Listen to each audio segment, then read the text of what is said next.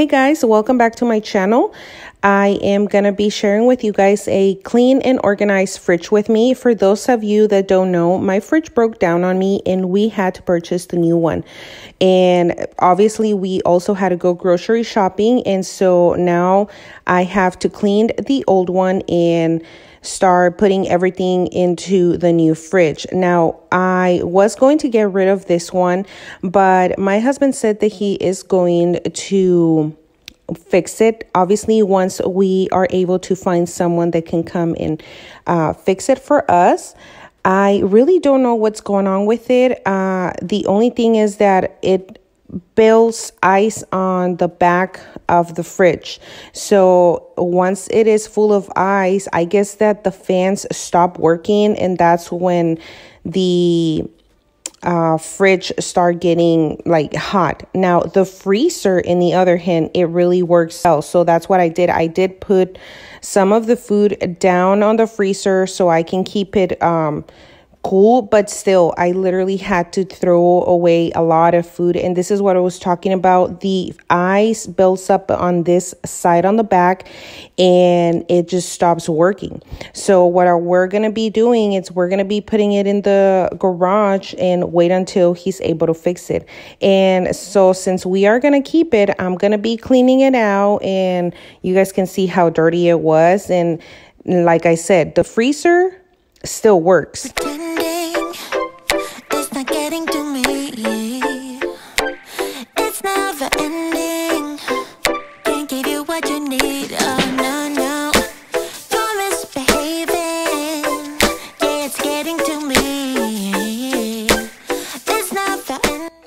Even though I had all these items in the fridge, I'm still going to be cleaning them out and going through some of the bottles in here and see what works and what doesn't work because I'm pretty sure um, I'm going to be throwing away more items since I know that there's a few items in here that don't work no more. Uh, our fridge broke down and it stays like that probably for like a week. Like this Clamato really didn't work. And uh, apple ciders are expired. Really, I was drinking the other apple cider, and thank God I didn't got sick because it was expired. So I was drinking an expired um, apple cider vinegar. So once I do clean those items, I'm going to first put all the items that I had in the old fridge into the new fridge. This is the one we purchased and I did talk about the fridge a little bit in the old video and I'm going to make sure to put it down on the description and also in the iCard so you guys can know what I'm talking about. Uh, we were going to buy an older one or not an older one, but more of an inexpensive one. And when they were about to bring the fridge, it wasn't um they didn't had it in the warehouse. Like it was discontinued. So i literally had to go back into the store and try to find a, a new one. So that was a full story that i did talk about it. So if you guys want to know what happened with it i'm going to be linking that video down below so you guys can go check it out. But at the end i am super in love with this fridge. It's really big obviously not not as big as the old ones eh, the old one that i have but still works. And so i did put all the old items and since we did went grocery shopping i am just trying to take everything out of the boxes so i can take those boxes out as soon as i can and start prepping all my food. I do prep my food and um I also do meal preppings, but since I am home, my kids have been loving uh, for me to make them uh, fresh food and fresh meals. So that's what I've been doing. But still, even though I am home, I'm trying to make my life easy um, and making some prepping. So that way, by the time I am ready to make some dinner or breakfast, I'm just taking out the items out of the fridge and start um, making the breakfast or dinner. So I did had a little bit of a trouble trying to put the things on the top of the fridge just because since it is a new one and I'm trying to fix it in a way where I can put everything in and at the beginning you saw that I did put the milk and the water in one area that is going to change and I'm going to be rearranging some of the uh, things inside of the fridge.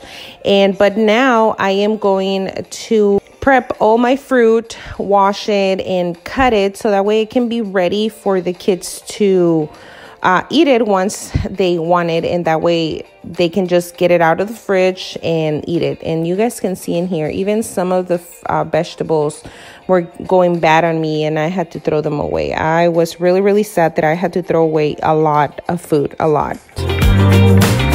We'll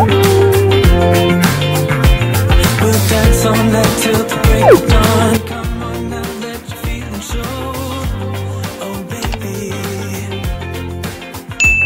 We'll dance all night till the break of dawn Come on now, let your feeling show. Oh baby. We'll dance all night till the I want to thank each and every one of you that had clicked on this video and that had subscribed. Welcome. I'm really, really happy to have you. Uh, my name is Ana. I am a mom of four boys. And on this channel, you will see a lot of cleaning motivation, mom related videos, and some health, exercise motivation as well. I have been posting a few lives with some insanity. It is a program that I have been working for the past month, and I did wanted to share with you guys. I am in a journey of uh, losing some weight and just being more healthy, and I do want to share it with you in case you want that exercise motivation.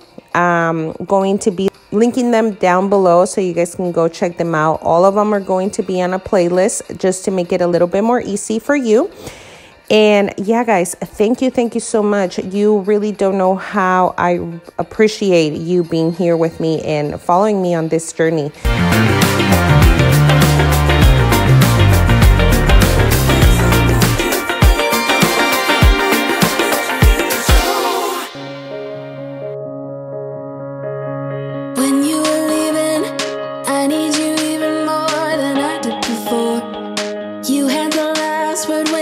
One of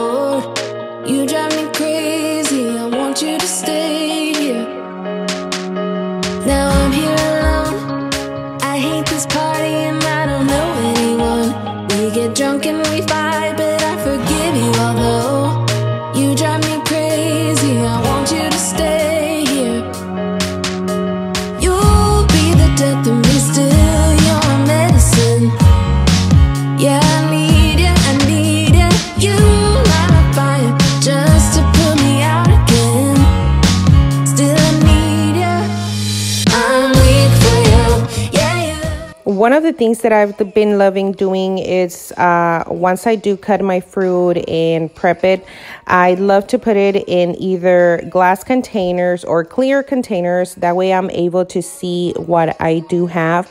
And also in Ziploc bags. I don't have a lot of uh, glass containers. All I have it's all of my meal prepping containers, but those are black. And it is really hard for the kids and even for myself to see what I do have in them.